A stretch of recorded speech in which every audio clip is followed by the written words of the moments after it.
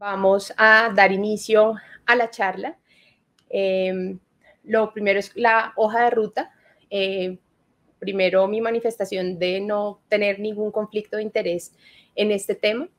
Eh, lo segundo es la definición de la sala de reanimación, la evaluación del contexto, la gestión de riesgos, la adecuación de áreas, la definición de indicadores o datos clave para el seguimiento periódico, la activación y desactivación de medidas de contingencia y finalmente las lecciones aprendidas.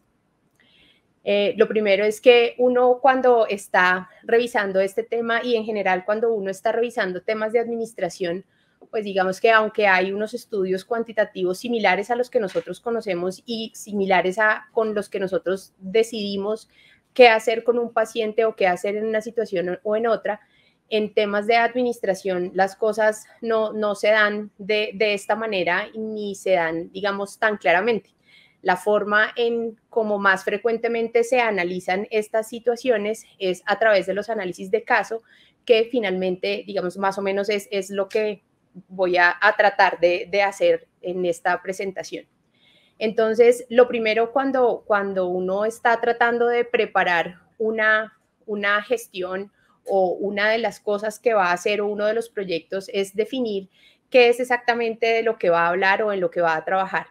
Y aquí empieza la primera dificultad, y es que la sala de reanimación, digamos que no es un término que internacionalmente se encuentre en los artículos, es conocida como sala de trauma, más relacionado está, es en, reanimación y en la sala de, parto, incluso algunos artículos lo, lo confunden y lo mencionan así, pero finalmente, si nosotros vemos qué es lo que es una sala de reanimación, finalmente es un área de rápida valoración, de estabilización emergente de los pacientes agudamente enfermos y severamente lesionados, y que implica por su definición que tenemos que hacer una definición rápida del siguiente destino del paciente para volver a tenerla disponible para el siguiente paciente.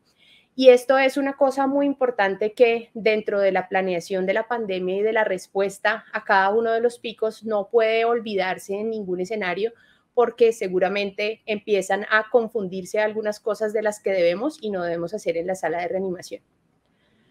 Cuando uno empieza a, a tratar de evaluar cómo puede llevar adelante la planeación de una respuesta a una emergencia o de un proyecto que quiera sacar adelante, en, urgencias y en escenarios, digamos, eh, clínicos y hospitalarios, uno tiene que hacer primero una evaluación del contexto. Y el contexto tiene tres partes diferentes. Lo primero es un contexto externo, en donde debíamos saber varias cosas acerca de cuál era la situación económica que estábamos viviendo y que estamos viviendo en este momento en el país y en la ciudad. También esto, cuánto puede estar afectando a las instituciones de salud y a todo el sistema de salud y cuánto iba a ser el gasto de esto. Un contexto externo político relacionado con todas las actividades de vigilancia y control y todas las exigencias que teníamos de la Secretaría de Salud. Un sistema de salud, eh, digamos que, que tiene algunas consideraciones especiales y que en Bogotá, digamos que tenemos una distribución de hospitales por nivel de complejidad, en donde sabemos que los altos niveles de complejidad, que probablemente eran aquellos que teníamos que responder de una manera más, más activa con aquellos pacientes de alta,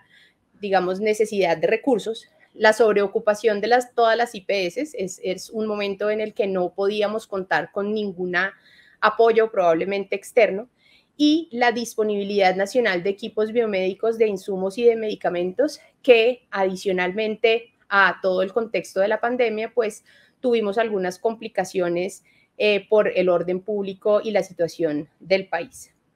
Importante dentro de la evaluación del contexto y que es una, una herramienta que empezamos a utilizar durante la pandemia y que probablemente esto pueda em, equipararse a otros escenarios de la planeación de la administración hospitalaria y es todo lo relacionado con las predicciones, con las predicciones y específicamente este tipo de predicciones que vemos acá, que son las, las predicciones relacionadas con la necesidad de recurso hospitalario de lo que sea que estemos em, enfrentándonos en ese momento. En algunos, digamos, teníamos disponibles varias esta que, les traigo acá, digamos que es una que, revisamos periódicamente en la institución y lo que vemos es que desde el principio más o menos y con obviamente no una discrepancia muy, muy ligera, pues digamos que claramente sabíamos que desde abril las necesidades de los recursos hospitalarios iban a ser insuficientes aún con el crecimiento significativo de las camas de unidad de cuidado intensivo. Como les mencionaba, aparte de la evaluación del contexto eh, externo y en este planito que, está acá, que les estoy mostrando, está el, el, esto está en Salud Data disponible de la ciudad y está la distribución. Esto es una imagen de, de ayer. Eh, sin embargo, pues en momentos de los picos, esta imagen era ah, casi roja. Y digamos que para nosotros que estamos en el norte de Bogotá, pues podemos ver que la disponibilidad de unidades de cuidado intensivo en el norte era muy baja, lo cual nos ponía en mucho más riesgo de tener mayores necesidades. Los otros dos contextos importantes que debemos tener en cuenta para la organización es el contexto interno, que implica necesariamente parte financiera y, digamos que esto es una cosa que no puede desligarse de la atención de los pacientes y pues es que necesariamente tenemos que tener recursos para poder atender a los pacientes con las necesidades que tengan. Eh, teníamos eh, una situación en la que las, los hospitales tuvieron inversiones adicionales, actividades institucionales clave que se vieron disminuidas tanto por norma como por disminución de la, del ingreso de los pacientes. Era importante conocer cuál era el personal que teníamos cuántas personas, qué perfiles y qué podríamos ir trabajando con las otras cuestiones de riesgo, los procesos, las áreas de expansión, las áreas de conversión, la forma en la que yo puedo medir la ocupación de la UCI de los pisos y la disponibilidad y uso de equipos médicos y el abastecimiento de toda, de toda la cadena. Y en cuanto al contexto del proceso, eh, importante el diseño, los objetivos, los flujos, la transversalidad y toda la comunicación entre los procesos que finalmente iba a ser completamente necesaria para esto. ¿Y qué puede pasar? Y, nos planteamos tres escenarios y tres escenarios que finalmente fueron con, consecutivos desde el principio de la pandemia, pues lo primero era esperar el momento en el que nos llegara el primero. Todos estábamos muy pendientes de que a quién le iba a llegar, si le llegó acá o allá, o, en dónde nos iba, íbamos a tener este primer paciente, en donde nuestro trabajo fue separar las áreas, evitar la contaminación y definir los flujos.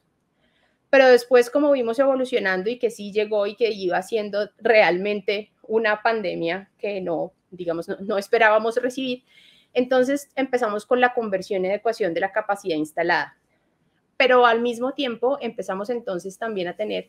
dificultades con este manejo de la capacidad instalada y ya pasamos a toda la expansión de áreas. Es decir, que al principio teníamos toda la capacidad, la cual se fue utilizando y se fue, digamos, disminuyendo para dar respuesta a todo lo que se veía venir. Y por el contrario, una, una curva, digamos, completamente contraria de los pacientes.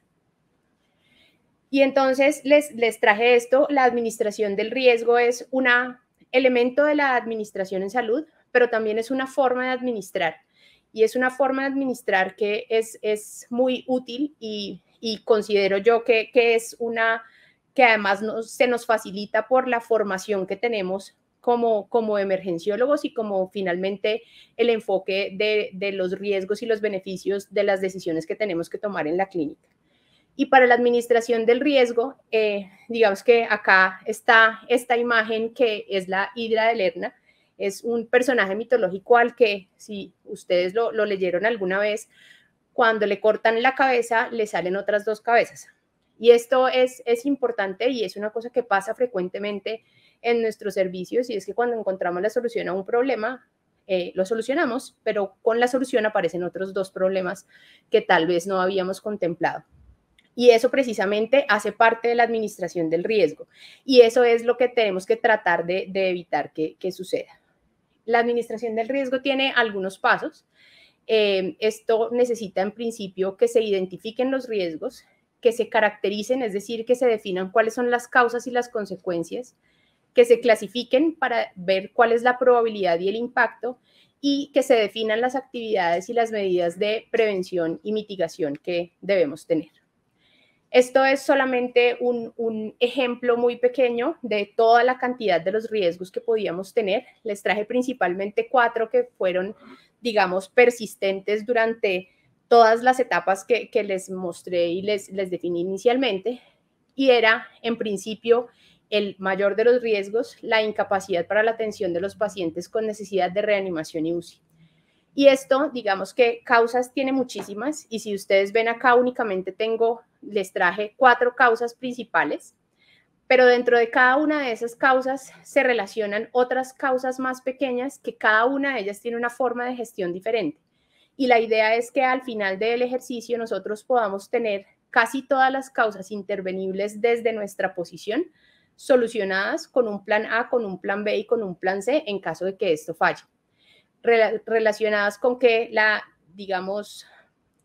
voy a, mostrarles ahorita más adelante, digamos, las cuatro separadas, pero es importante acá esto que les menciono, identificar cuál es el riesgo, las causas y definir las consecuencias. En principio, malos resultados clínicos y muertes evitables, detrimento de la imagen institucional, quejas, investigaciones y demandas, y el impacto físico y emocional del equipo asistencial eran las consecuencias principales de este tipo de, de riesgo que tal vez era el más visible y el más evidente. Una vez uno haga la caracterización y las causas y las consecuencias de cada uno de los riesgos, es muy importante saber qué es lo que primero tengo que hacer y qué es en lo que tengo que poner mayor esfuerzo y concentración de mis recursos. Y para eso sirve este cuadrito, que es una matriz de riesgo en la que yo voy a clasificar la probabilidad de que el riesgo se materialice y el impacto que tendría en caso de materializarse. Si ustedes ven, solamente al principio les traía un riesgo con esas cuatro causas, eh, pero pues finalmente la matriz de riesgo de, todo el manejo de la pandemia, pues es, es, muy grande, así de grande como esta. Si ustedes ven, solamente vamos a ver uno de los riesgos que, que teníamos ahí. Y lo siguiente, como les decía, es establecer para cada una de las causas cuáles van a ser las actividades de mitigación o de tratamiento de ese riesgo eh, que, que, vamos a tener. Pueden ser causas que, digamos, actividades que, lo, que previenen que se materialice o que una vez se materialicen disminuye el impacto que vaya a tener dentro de la institución, dentro de los pacientes y dentro de todo nuestro equipo asistencial. Entonces, como les mencioné, cuatro, la insuficiencia de personal, eh, pues obviamente una de las causas es la relación de la mucha más demanda que oferta a pesar de hacer todos los, los ajustes. Importante y, digamos que es algo que se, que se intervino y que todas las instituciones tuvimos que hacer varias cosas para poder manejarlo es el ausentismo, el burnout e incluso la deserción del equipo asistencial relacionado con la cantidad de trabajo que tenía. Eh, dificultades también en que puede ser que yo tenga los recursos, ya lo tengo mapeado, ya sé cuál es el perfil que necesito, pero no hay, como sucedió, por ejemplo, con, con los mm, intensivistas, con los internistas, con los emergenciólogos, con todos aquellos perfiles que, podían dar un manejo integral a todos estos pacientes con COVID independiente de su grado de severidad. Eh, acá es, es muy importante y esto, aunque ya no lo habían dicho varias veces cuando estábamos haciendo toda la planeación de, emergencias y, y, nuestro plan hospitalario de emergencias, es definir un mínimo requerido. Después de eso, conocer el listado de personal disponible tanto de la disposición para ayudar, para participar en esto, como de la, la reubicación y el cambio de roles que se necesita, la selección y la contratación, y muy importante la capacitación, porque pues todos sabían, digamos que, que hay unas habilidades que, probablemente no eran tan fáciles de adquirir en tan poco tiempo. El siguiente, la insuficiencia de equipos biomédicos. Aquí también cada una de las, de las causas debía tener una, una actividad aumento en la capacidad instalada, pues digamos que lo primero que uno dice es, no, no voy a tener ventiladores, entonces está bien, voy a comprar más ventiladores, pero resulta que tampoco había ventiladores disponibles para comprar, porque todas las instituciones estaban en lo mismo. Entonces, ¿qué, qué, qué teníamos que hacer? Teníamos que trabajar también con la dirección de operaciones, con la dirección financiera para poder conseguir los mejores recursos disponibles tanto económicos para poder adquirir los equipos biomédicos como de otro tipo de relacionamiento para su financiación. Y con esto también otra dificultad adicional, y es, por ejemplo, que las áreas, hay áreas inadecuadas para los equipos disponibles. Es decir, en reanimación nosotros tenemos tres, tres camillas disponibles. Al momento del inicio de la pandemia separamos las rutas y logramos adecuar otras dos con posibilidad de monitorizar y de ventilar pacientes, que eran en principio los, las dos principales cosas que iban a necesitar estos pacientes. Pero resulta que varios de los sitios, varios de los ventiladores necesitaban oxígeno y aire y varias de las áreas de expansión solamente tenían oxígeno. Entonces, esto implicaba y necesitó que reubicáramos unos equipos de acuerdo con las características del área, de manera que pudieran ser utilizados, eh, incluso bajando unos de la UCI de urgencias, subiéndolos de urgencias para, para arriba para poder dar, digamos, la capacidad que teníamos planeada. El tercero es el desabastecimiento de insumos y medicamentos. Eh, como les mencionaba, el, el aumento del uso institucional de algunos de los medicamentos, más la disminución de la producción, más las dificultades en la entrega que tuvimos con, los, con el problema de orden em, de, social y, el, y el orden de seguridad que tuvimos, la no disponibilidad de recursos económicos para hacer los acuerdos y también el uso inadecuado de, de estos. Dentro de todas estas causas que preveíamos, entonces, cada una igual debe tener alguna actividad que esté encaminada en disminuirlo. Por ejemplo, estableciendo muy bien los protocolos de manejo, estableciendo desde el principio y antes del desabastecimiento cuál era la alternativa para manejar la indicación puntual de lo que fuera que tuviéramos dificultades em, o incluso de los insumos para todo el uso tan frecuente de los equipos de ventilación, por ejemplo, y una integración muy, muy cercana con todo el equipo de la cadena de suministros y la cadena de abastecimiento, porque definitivamente teníamos que hacer, y esta es una de las cosas también importantes en administración del riesgo y, del seguimiento, y es que teníamos que estar pendientes de cuáles son los elementos clave, la utilización en momentos normales y en los picos, y la determinación de la cobertura de un inventario. No podíamos decir de un día para otro, ay, se nos acabó el midazolam Tal vez a veces ante, ante digamos, la, la persona asistencial que está con el paciente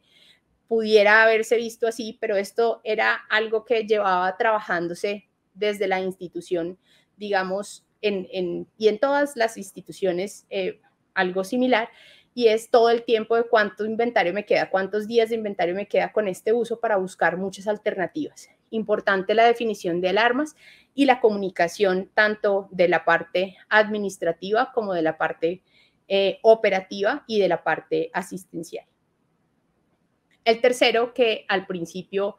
eh, y, finalmente, digamos que, que, es una de las, de las cosas que definían más el límite de la expansión era la insuficiencia de la infraestructura. Pues definitivamente hay momentos en los que las paredes ya no, ya, ya no se pueden ampliar más. Los sitios susceptibles de ser utilizados para la atención de pacientes tampoco eran susceptibles de, de ampliar. Luego, con cada una de esas cosas y con cada uno de estos riesgos, es importante también que desde el principio uno pueda definir cuál es su límite de expansión, porque pues todas las cosas eh, tienen tienen un límite y cada una de estas causas era una razón para, para determinarlas. Lo siguiente, una vez uno hace la, evaluación, digamos, de todo el riesgo y las intervenciones, está la adecuación de áreas. Eh, el definir cuál es el área de atención, el equipo asistencial, los procesos y procedimientos, eh, los sistemas y la tecnología. Y con esto es importante también una integración clínica con todo lo que estábamos conociendo acerca de la patología. Por ejemplo, una de las cosas es que todos los pacientes que eran llevados a la unidad de cuidado intensivo tenían ventilación mecánica. De estos pacientes que tenían ventilación mecánica, varios, en, su mayoría, una cosa que, tal vez uno no, no, no lo tiene en cuenta sino solo hasta que se le acaban, es que cada uno de los pacientes necesitaba en promedio siete bombas de infusión. Luego, para la adecuación de áreas y la, el equipo, digamos, de expansión, era importante tener, tener en cuenta esto. Nosotros hicimos en principio de sala de reanimación un aumento de la, de la capacidad con ocho camillas adicionales con monitoría no invasiva que nos permitía tener ventilación mecánica en los pacientes. Tuvimos 94 días de funcionamiento en donde atendimos 148 pacientes. Como les decía, siempre pensando en que esto era transitorio, no, no es una UCI, la atención que, que brindábamos ahí no era esto, eh, sin embargo, es la responsabilidad del servicio de urgencias, así como mencionaba Eliezer ahorita, de cómo vamos a ganar tiempo para tomar una decisión. Esto también es parte de lo que planeábamos. 58 años de edad en promedio, con una estancia de tres días en promedio y 16 días la estancia máxima. Cuando lo abrimos y en los dos primeros picos, nuestros pacientes iban a la UCI en menos de 24 horas, eh, y progresivamente a medida que se acabaron los recursos y que la capacidad instalada de toda la ciudad estaba, estaba ocupada, pues esto fue empeorando. Nuestro equipo asistencial, de acuerdo con las mediciones que, tuvimos, eh, un emergenciólogo que esto, digamos, nos permitió hacerlo la forma como lo distribuimos y, y la versatilidad de, del emergenciólogo y de poder cambiar los roles para poder hacer esta actividad. Eh, un médico general, una enfermera, dos auxiliares de enfermería y una persona de terapia respiratoria. En su mayoría nuestros pacientes tuvieron soporte ventilatorio, tal vez un par al principio que, que no tenían sino soporte vasopresor, pero en general todos requirieron soporte ventilatorio y eh, eh, la gran cantidad de los pacientes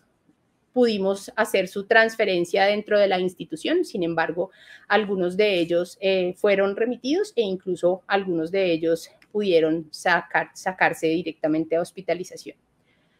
Pero como les mencionaba que cada problema tiene, cada solución tiene dos problemas adicionales, pues nuestra área también se acabó. Y también aumentamos, superamos nuestra capacidad, eh, de manera que tuvimos que hacer con el con, la idea de, ganar este tiempo y de poder soportar la mayor cantidad de pacientes que pudiéramos, entre tanto, podían alcanzar, digamos, su destino final. Eh, finalmente, ampliamos nuestra atención a cuatro áreas. El área de reanimación, en donde la idea era mantenerla disponible para poder atender al paciente que, llegar, que, que llegara y que pudiéramos tener toda la, digamos, por lo menos la, el, lugar para analizar cuáles eran las opciones que teníamos. El área de expansión de reanimación, como les mencioné, nuestra área con capacidad para ventilar ocho pacientes adicionales. Eh, nuestra área de observación también se convirtió en un área como transitoria para llegar a la unidad. Eh, y es el área en donde adicionalmente a los pacientes que teníamos ya soportados, pues pudimos tener con la disposición para tenerlos al menos con un seguimiento cercano, eh, porque eran pacientes con indicación de, unidad de cuidado intensivo que no, no había disponible en el momento. Y la expansión de observación, que eran aquellos pacientes o que por su necesidad no tenían soporte o porque por alguna de las consideraciones adicionales que, que tuvimos, pues no, no, no, no iba a ser llevado a ventilación. De aquí que es muy importante y que es algo que además vivimos todos los días y es importante tenerlo como parte del manejo, es que cada día es un escenario distinto. Los pacientes eran distintos, los recursos eran distintos, el comportamiento del hospital era distinto y por eso hay que hacer, aunque sí una planeación inicial, es importante poder tener la capacidad de gestión diaria de acuerdo a la, a la condición cambio de rol de las especialidades, cuando nosotros tuvimos que tener estas cuatro, digamos que ya habíamos sacado nuestro emergenciólogo de consulta a esta área, pero después de eso, pues ya la capacidad del emergenciólogo, aún con el apoyo de médico general, pues era insuficiente y es así como todas las otras especialidades empezaron a involucrarse y a asumir algunos de los cuidados de estas áreas. Nuestra observación está dividida en dos, una, cada una con una disponibilidad de siete, de siete camillas. Y una de las áreas fue asumida por medicina interna, la otra área fue asumida por cardiología, el equipo de cirugía eh, y en general, digamos, el, equipo quirúrgico también asumió algunos de los pacientes que estaban ubicados en, el área de expansión de observación de, de los pacientes que necesitaban estar hospitalizados, pero es importante tener una, una capacidad de, de recuperación y una capacidad de, de adaptación de esta manera. Y acá, aunque eh, no, no es tema de esta charla, pues es acá cuando entra en, en juego, digamos, la importancia de las decisiones éticas de las juntas médicas, de la accesibilidad que tengamos a ellas y de lo acostumbrados que estemos a, a tenerlas. Como seguimiento periódico de la activación y la desactivación, digamos que este es el seguimiento de cómo se ha comportado la consulta. En verde está toda la consulta general. En anaranjado están los respiratorios y digamos que, que aunque siempre esperábamos que se juntaran y se separaran y se juntaran y se separaran, pues digamos que en el último pico que tuvimos en junio, mayo, junio y julio, el problema adicional fue que lo, lo no respiratorio no bajó, que es em, algo que, que complicó un poco la respuesta. Importante el seguimiento institucional, no solamente de urgencias, para poder definir si vamos a desactivar el área de expansión que hicimos, el número de consulta, de hospitalización, el porcentaje de positividad de las pruebas, las necesidades de la UCI, conocer las estancias promedio de los pacientes en cada una de las etapas para poder definir cuánto tiempo más o cuánto tiempo antes para un pico posterior tengo que activar mis áreas de expansión.